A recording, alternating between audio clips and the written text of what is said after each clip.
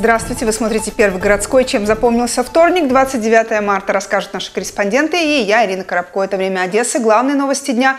И далее вот о чем. Прокурор Одесской области Давид Сакварелидзе уволен. Его обвиняют в нарушении правил этики и неисполнении служебных обязанностей. В чем же заключается их непонимание нарушения прокурорской этики или вообще прокурорская этика? Это воровство, это коррупция и это круговая порука. Особенности национальной вакцинации. В Одессе не хватает прививок от коклюша, дифтерии, гепатита Б и столбняка. Их сейчас в наличии нет. Браконьерство или нет? Скандал вокруг нацпарка «Тузловские лиманы» набирает обороты. Конфликтующие стороны собрались за круглым столом, но диалога не получилось. Слухайте, ну що це за жіноцтво таке? Слухайте, ви, ви самі, ви самі перестаєте поважати один одного. Що це за базар? Ще раз, останній раз. Не перебивайте свого колегу. И все подробности далее в нашем выпуске.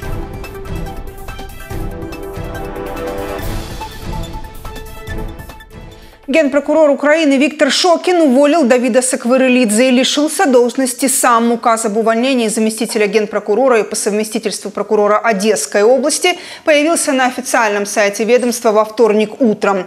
Сакварелидзе также привлекли к дисциплинарной ответственности за грубое нарушение правил этики, неисполнение служебных обязанностей и вмешательство в работу другого прокурора. Почти сразу после этого Верховная Рада поддержала заявление Шокина об уходе в отставку по собственному желанию. Сейчас обязанности прокурора Одесской области исполняет заместитель Олег Жученко. Я хочу открыто заявить, да, я нарушил прокурорскую этику, но именно в их понимании этого термина. В чем же заключается их непонимание нарушения прокурорской этики или вообще прокурорская этика? Это воровство, это коррупция и это круговая порука. Да, эту круговую пороку, эту этику прокурорскую я нарушил и всегда буду нарушать. С первого дня своего назначения в должность я занимался постоянной борьбой именно с этими так называемыми правилами этики. Отмечу, за время работы Сакварелидзе запомнился громкими скандалами. В том числе речь идет об операции против киевских прокуроров, у которых нашли полмиллиона долларов и бриллианты, а также ситуации с освоением двух миллионов долларов от США, выделенных на реформы органов прокуратуры. Отставку своего соратника уже прокомментировал губернатор области Михаил Саакашвили. Коли призначалися Акварелидзе, я був присутній при цьому. Президент Порошенко надав йому чіткий мандат боротися з мафією, яка існує в Одесі і в Одещині. І зараз сама ця мафія офіційно звернулася і звільнилася Акварелідзе. Отмечу, в этот же день стало известно, что на взятке попался сотрудник областной прокуратуры Александр Мадебадзе. Его всего две недели назад назначил Давид Сакварелидзе. Об этом в Киеве сообщил прокурор Генеральной прокуратуры Владислав Куценко. Мать малыша, погибшего при посадке в лифт, нарушила технику безопасности. Об этом заявили в компании «Деслифт». Перед трагедией механик починил все неисправности и проверил работу устройства. После он встретил в парадной мать с коляской и даже, по словам его начальства, предупредил о правилах пользования лифтом. Напомню, трагедия произошла 28 марта на улице Королева. Женщина закатила в кабину коляску, но в этот момент механизм начал подниматься наверх. В итоге ребенок упал в шахту, от полученных травм он скончался. По этому факту уже начато уголовное производство. При перевозке ребенка в коляске необходимо извлечь ребенка из коляски, взять на руки и зайти сначала в лифт, а потом уже перевести коляску. Все происходило наоборот. То есть была попытка проезда в первую очередь коляски, а потом взрослого. По словам специалистов, срок эксплуатации лифта давно закончился. Его необходимо было заменить или капитально отремонтировать. Однако на это в городском бюджете средств не хватало. Сейчас в Одессе около полутора тысяч таких лифтов, причем 24 из них не работают вообще. Ситуация осложняется регулярными кражами деталей. Злоумышленники воруют медные катушки и сдают их на металлолом. Сейчас принято на сессии городская целевая программа замены модернизации и диспетчеризации лифтов 16-20 годы. И эта программа э, рассчитана на 5 лет. Суммы, которые выделяются, они, конечно же, несопоставимы теми суммами, которые были до этого. И мы продолжаем. Скандал вокруг национального парка Тузловские лиманы набирает обороты. Экологи обвиняют чиновников и местных предпринимателей в варварском отношении к уникальной природной зоне. Последние требуют увольнения директора нацпарка, иначе пойдут на крайние меры. Обладминистрация в конечном счете удалось собрать стороны за круглым столом, но диалога не получилось. Нервы сдали даже у вице-губернатора. До чего договорились, а точнее докричались, знает Илья Замчинская Слухайте, ну що це за жіноцтво таке? Слухайте, ви, ви самі, ви самі перестаєте поважати один одного. Що це за базар? Ще раз, останній раз. Не перебивайте свого колегу. Взаимные обвинения сыплются без остановки. Руководитель национального парка Иван Русев обвиняет местных чиновников и бизнесменов в потребительском и даже варварском отношении к природе. Те в ответ требуют увольнения эколога. После очередной перепалки вице-губернатор Соломея Бобровская просто уходит. Правда, очень скоро возвращается. В итоге решают встретиться еще раз. Створення робочої групи цих дев'яти голів селищних сільських рад, це представник департаменту екології, це прес- представник Міністерства екології. І наступне робоче засідання, робоче засідання без е, маси людей, які половину не є, не є в темі. Проблем в национальном парке Тусловские лиманы хватает. Один из недавних скандалов связан именно с охотой в природоохранной зоне. В некоторых местах можно только рыбачить, но местные жители никак не могут оформить разрешение. Из-за изменений в структуре Минэкологии непонятно, кто теперь выдает лицензию. Дирекция нацпарка даже разработала правила для рыболовов. Правда, касаются они только местных жителей, которые рыбу не продают. Он такой же член экосистемы, как и пеликан, и он имеет право своей семьей поймать рыбу и ее съесть. Но это раздражает и это гневит тех, кто монопольно узурпировал эти водоемы и хочет так дальше жить. Наша команда с этим не согласна. Мы будем стоять на точке э, зрения закона. А вот те, кто называют себя местными жителями, в особенности предприниматели, говорят, директор Лиманов некомпетентен, и результат этой встречи их совершенно не устраивает. Поэтому готовы на крайние меры. Мы так и не поняли, чем закончилось. Нас это все не удовлетворило громады. И мы решили так, что мы перекрываем дорогу э, с сообщением до Рени, Одесса-Рени, до тех пор, пока не будет изменено руководство парка. Часть предпринимателей и чиновников требует проведения конкурса на замещение должности директора Тузловских лиманов. Но пока этот вопрос остается открытым. Когда пройдет следующая встреча всех сторон, неизвестно. Алия Замчинская, Александр Пережилин, Первый городской. Ученые протестуют. Сотрудники ведущих научных учреждений Одесской и Николаевской областей вышли на предупредительный пикет. По словам протестующих, на развитие Академии наук в бюджете этого года заложено слишком мало денег. Их не хватает ни на зарплаты, ни на оплату коммунальных услуг. Ученые говорят, впервые после 90-х годов вернулись к практике неполного рабочего дня и отпускам за свой счет. Нам предложили оптимизировать институты, закрывать научные школы. Эм, э, э, даже сказали, что деньги будут забирать, ну, допустим, проведут некие ре- рейтинговые оценки, и у менее рейтинговых институтов будут забирать деньги в пользу более рейтинговых. Мы требуем от э, всех властных структур немедленного прекращения развала Национальной академии наук и, конечно же, как можно скорейшего эм, решения финансовых проблем. В 2016-м на всю сферу планируют потратить на четверть меньше, чем в прошлом. Это при том, что по закону Украины о науке и научно-технической деятельности отрасль должна была получить почти 2% ВВП. Но таких огромных средств ученым не давали никогда. Поэтому о серьезных фундаментальных исследованиях речь вообще не идет. В областную администрацию передали обращение в центральные органы власти с требованием обратить внимание на их проблемы. Администрация не может сильно что-то решить. Максимум, что администрация может сделать, это э, подать какое-то ходатайство, скажем, в облсовет, чтобы они приняли решение о переаллокации денег. Но там этих денег настолько мало, а нужд у государства такое огромное количество – Экс-депутата Одесского горсовета Оксану Дроган подозревают в коррупции. Об этом сообщают в областной прокуратуре. Во время сессии городского совета в сентябре прошлого года депутат проголосовала за освобождение от уплаты налогов для своего благотворительного фонда. В собственности организации находится несколько коттеджей возле моря. Теперь ей грозит штраф до 14 тысяч гривен с занесением личных данных в реестр коррупционеров. Материалы дела направлены в Приморский районный суд. Она должна была сообщить о конфликте интересов, о том, что она является главой фонда этого, но не сообщила. Тем более этот человек, она отказывалась подписывать протокол наш, и при, при понятых не хотела как бы никак подтверждать то, что она все-таки согласна с тем, что действительно вот есть протокол такой. Сама Оксана Дроган обвинения считает безосновательными. Благотворительный фонд – организация некоммерческая, а решение приняли большинство депутатов. Также она предоставила копии документов, по которым помещение детского дома «Жемчужинка», автомобили и другое имущество фонд бесплатно передал в пользование Одесскому горсовету сроком на 50 лет.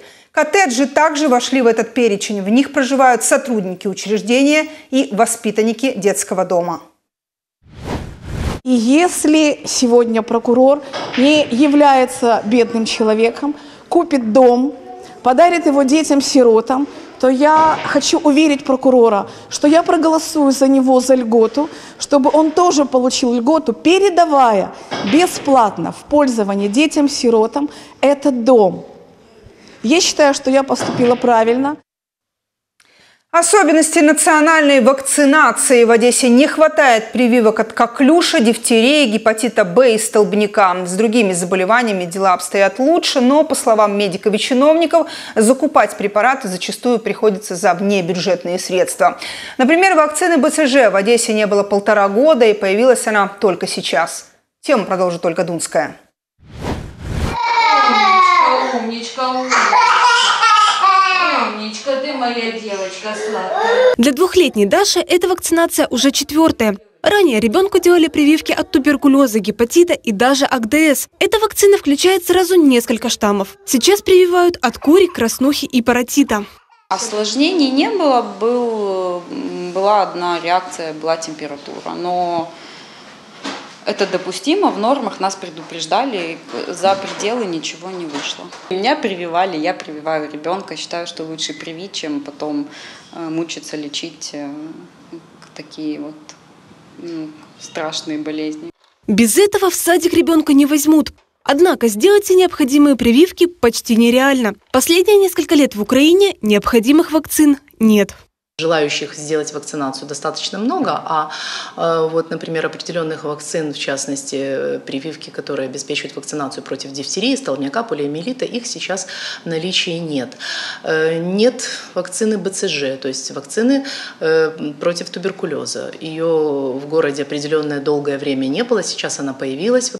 Комплексную прививку против столбняка, коклюша и дифтерии передала Грузия в качестве гуманитарной помощи. Сейчас она закончилась. Были проблемы и с вакцинами БЦЖ. В последний раз прививки против туберкулеза Минздрав закупал в 2014 году. Чтобы не допустить пандемии, чиновникам пришлось потратить небюджетные средства на закупку препарата. Вакцины от других заболеваний есть в наличии, но на всех не хватит. Закуплена она на 1 миллион 200 тысяч гривен.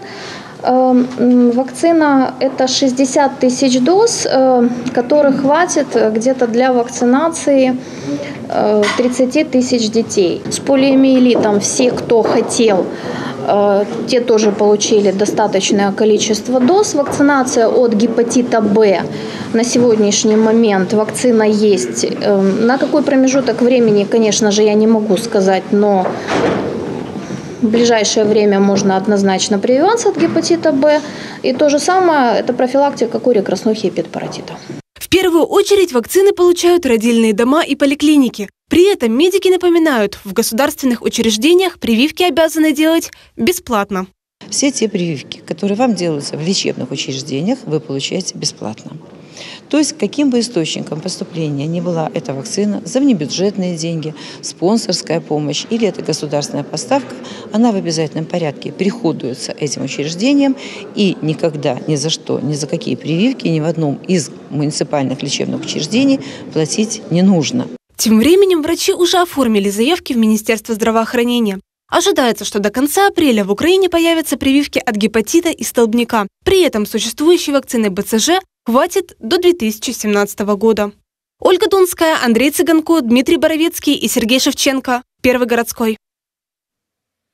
И далее криминал поссорился со знакомой, ударил ее ножом в сердце. Полиция задержала мужчину, который жестоко убил свою приятельницу. Как выяснилось, женщина недавно приехала в Одессу и сняла здесь жилье. В тот день она выпивала вместе с убийцей и хозяином арендованной квартиры. Между знакомыми завязалась ссора, мужчина схватил нож, ударил подругу в сердце и сбежал. По данным стражи порядка, преступник уже был судим за убийство. Сейчас он под стражей, ему грозит до 15 лет тюрьмы. Ну, поругались, зацепились. Вот единственное, чего я не помню, это как я ударил ножом. Вот это все остальное вот такое вот в тумане. А так все, по большому счету, я ее знаю недели три. Неоднократно мы с ней и кололись, и это. То есть с ней были в приятельских отношениях. А вот что, что произошло, это единственное, что сегодня сам понять не могу, как это вот произошло. Не лотерея, а казино. Одесские полицейские закрыли 12 игорных заведений, замаскированных под государственные лотереи. В ходе обыска стражи порядка нашли в помещениях компьютеры, игровые чеки и более 22 тысяч гривен. В качестве свидетелей полиция опросила клиентов заведения, а вот администраторы казино общаться со стражами порядка отказались. Теперь организаторам незаконного бизнеса грозит до пяти лет тюрьмы. В ходе проведенных обысков э, изъято 88 единиц компьютерной техники и денежные средства, добытые э, преступным путем. Э, в настоящее время по, данному, по данным фактам начали открыто уголовное производство по статье 203 со значком 2 Уголовного кодекса Украины. Выдали новую квартиру. В Коминтерновском районе бойцу АТО вручили ключи от нового жилья. Житель села Красноселка стал вторым бойцом антитеррористической операции из Одесской области, который получил квартиру от государства. Чтобы добиться заветных квадратных метров, ветерану АТО пришлось долго и тщательно отстаивать свои права. Все подробности знает Ксения Бровиненко. Хорошо, тогда ну, это ваш ключ. Ну, соответственно, передаем.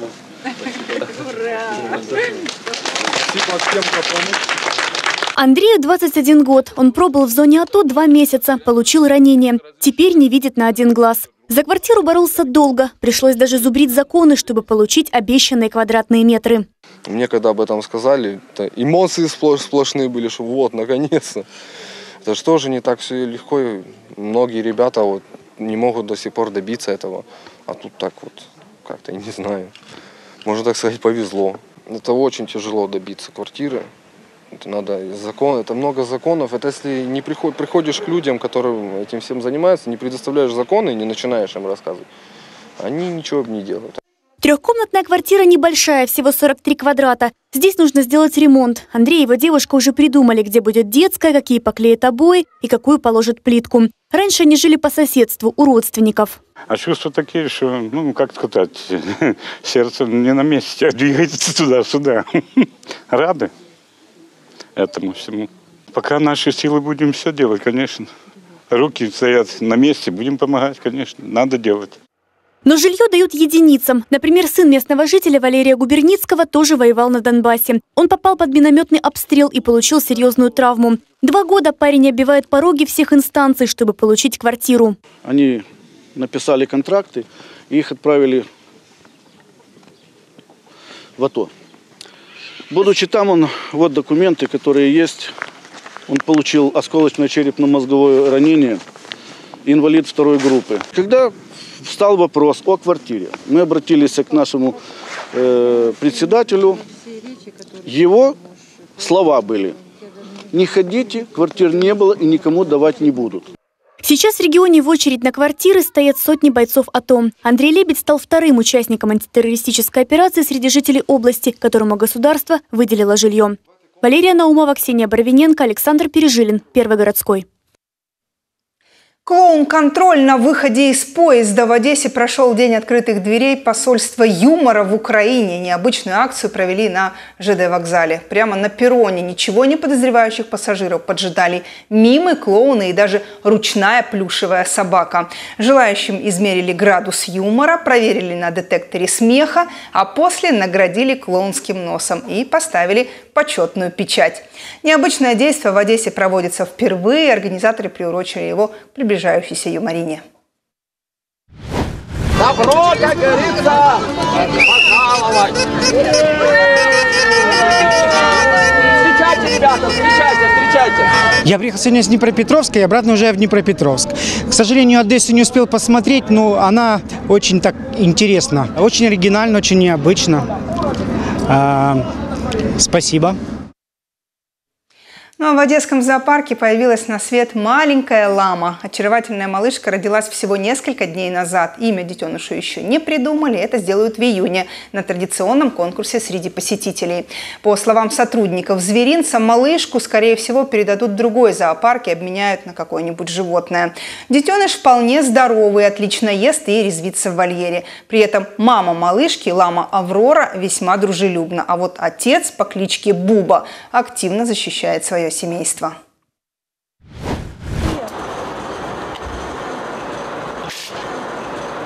Когда появляется первый детеныш, он меняет очень поведение, он меняет нрав, он становится таким э, скандальным, он плюется, он дерется, там, кусается. И это очень хорошо на самом деле, потому что он демонстрирует, что он хороший самец, не просто производитель, но он еще и э, несет службу, он э, реализует свою отцовскую любовь и выполняет свою функцию. Ну что ж, самое время навестить маленькую ламу. Вы смотрели «Время Одессы». Оставайтесь с нами, будем ждать только позитивных новостей от дня следующего. Увидимся в наших выпусках. До встречи на Первом городском.